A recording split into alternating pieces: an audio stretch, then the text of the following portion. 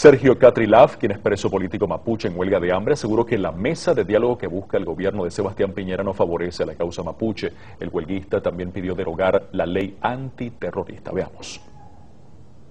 La ley antiterrorista da una serie de herramientas que vulneran el debido proceso a, eh, los comuneros que, son sometidos a, juicios.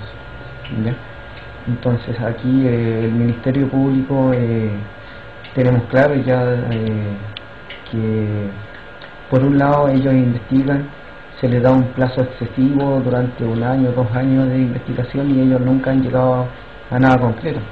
Entonces yo, por ejemplo, estuve eh, casi un año preso ahí y, aún eh, los juicios no se ven.